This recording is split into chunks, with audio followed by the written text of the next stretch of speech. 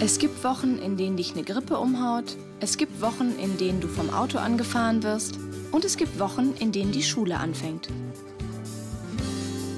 In diesen Wochen stehst du am besten montags gar nicht erst auf.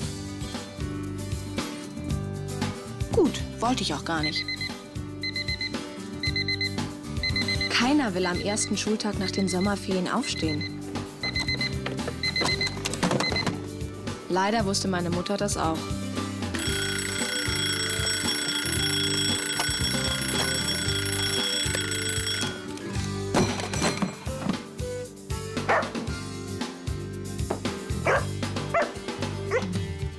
Aus.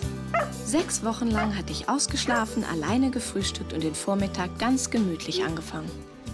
Aber das war jetzt alles vorbei. Warum ist denn der dauernd besetzt? Na, weil heute die Schule wieder anfängt. Ja, leider. So eine Scheiße. Basti! Alex!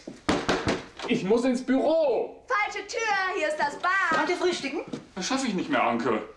Jetzt nicht mehr. Na toll, kaum geht die Schule wieder los, ist alles so chaotisch wie immer. Ich muss halt weg. Ja, ich auch.